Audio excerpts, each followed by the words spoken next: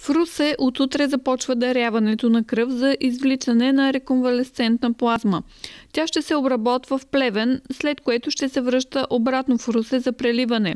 Изискванията към донорите са същите като към дарителите на кръв. Допълнителни условия са да имат документ, това изискване и на центъра в Плевен, PCR тест, документиран, т.е. на хартия, въпреки че и в системата виждаме, че има резултат от PCR, да са минали 40 дни от този PCR, да нямат симптоми в момента.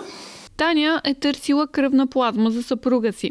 Разказва, че процедурите по приемането и са тромави и губят ценно време. Според мен нещата се бавят, протакат и не знаят как да се случат от самите лекари. Значи аз им цитирах имената на донорите, казах им да се обарят до кръвния център, нали, всичко, бележките най-накрая ми намериха. Дали реално е прилята плазмата, на следващия ден вече нищо не мога да кажа.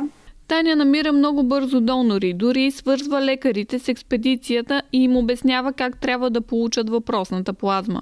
И на следващия, който е дежурен, съобщавам. Намерила съм хората, а, искайте си я. Трябва да пуснете искане. Вече в Пловдив центъра работи, пуснете искане и така ще получите плазмата.